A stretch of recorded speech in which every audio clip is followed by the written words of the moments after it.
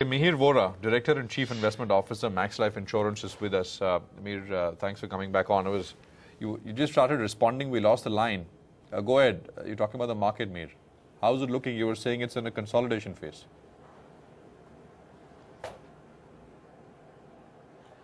Uh, yes, after the knock that we took in the last couple of months uh, in the local and the global markets, uh, we, we did believe that uh, we were in an oversold uh, territory uh, at that point in time when the markets were Nifty was trading at about 6,800, etc. Because the fall was just too sharp and uh, quite indiscriminate in certain cases uh, in terms of valuations. So a couple of things have happened. locally, we've had a decent budget where broadly the fiscal uh, uh, aim is to stay on the path of uh, prudence. We got a, a good CPI number last last night, which means that there is a good chance that we might see the easing cycle continue. And globally, the fact that commodities have stabilized and the Chinese yuan is now moving in both directions, not only in the direction of weakening, has led to some amount of normalcy as far as risk appetite is concerned. Uh, so we have seen FIIs in India coming back to buy uh, not not in a massive way, but in the last few days at least that I can see, last seven to ten days, we are seeing consistent net inflows in the cash segment, and we are seeing some uh, short covering also in the in the F&O segment. So yeah, after the big knock that we took in Jan and Feb, uh, we are coming back to limping back to normalcy, I would say, and now it's back to uh, stock picking and uh, sectors allocations. Uh, on earnings, how are we looking, you, you think, Mir?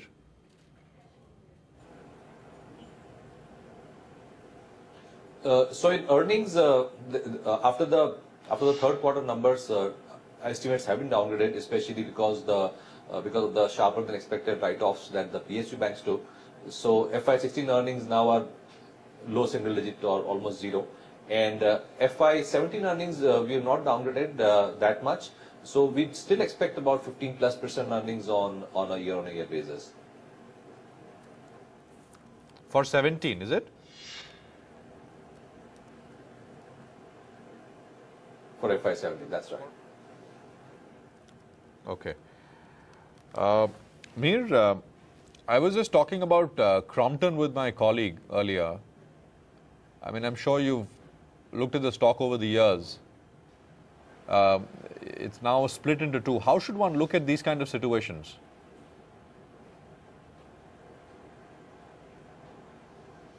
Uh, so, Prashant, uh, as you know, I can't comment on, on specific stocks. Uh, but ultimately, when you are looking at a demerger of any kind, you do have to uh, get into the SOTP uh, uh, valuations. Uh, so that's that's all I can say.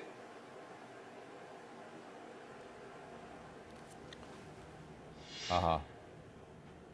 Okay, fair enough. That's that's cryptic, Mir, but I guess you can't do better, at least in terms of specifics. so so what's your what's your focus really, Mihir, in terms of sectors or uh, you know sectoral bets really?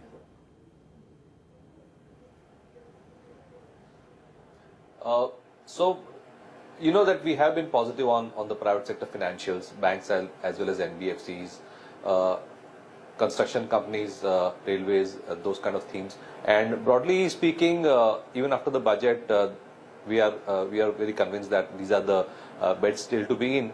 The only mild tweak that we would have done in the last month or so is is in the terms is in the metals uh, space, where we believed that prices had gone down to levels where maybe 30 40 percent of global capacities in many metals would become unremunerative and there would be production shutdowns.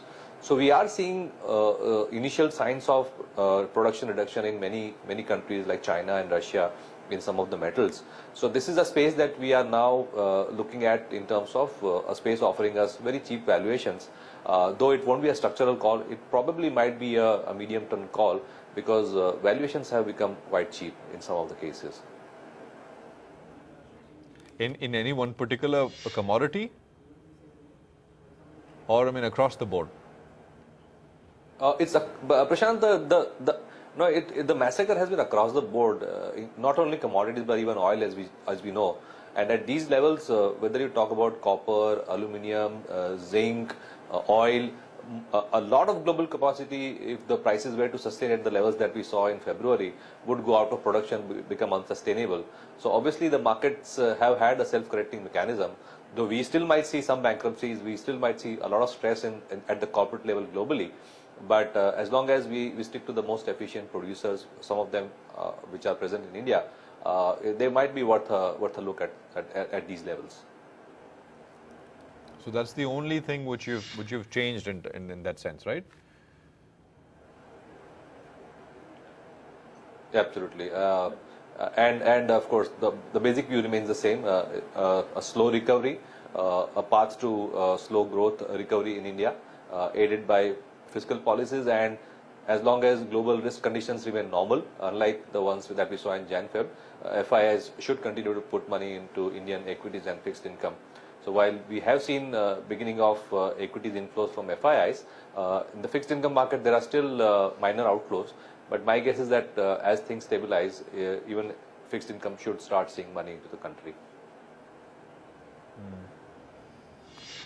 Right.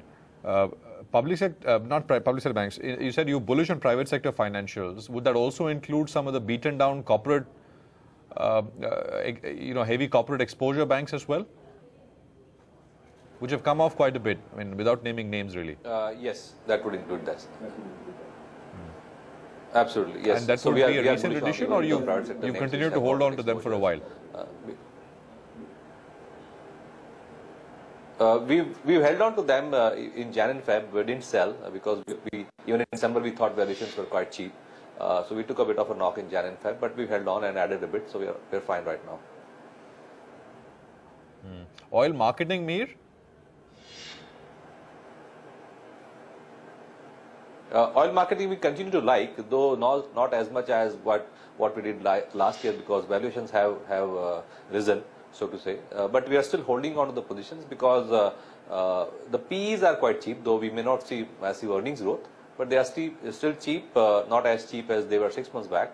So we would say we are now more uh, holding on to the positions rather than being uh, very extremely bullish. Holding on to positions.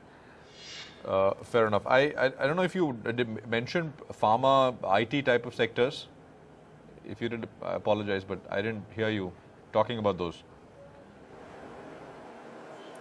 Yeah. So, yeah. So in pharma, we continue to be underweight. Uh, uh, a because we need to put take money out from some sector to be overweight on the other sectors.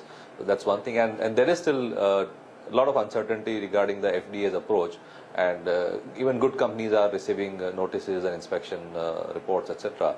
So we, we, we that's a sector which is frankly very difficult to track and understand. So we have a exposure, but we are significantly underweight. Uh, in IT, uh, we have actually reduced the underweight positions a little bit uh, because we do see that the US growth, uh, while there are big concerns, it may not be so bad. Uh, so corporate corporate America is doing okay, and we do see that at some point in time when the markets were volatile, IT was a good hiding place to be in. So we reduced the underweight uh, a little bit in the last couple of months. Mir, thanks very much for your time. Good chatting with you. It's a pleasure.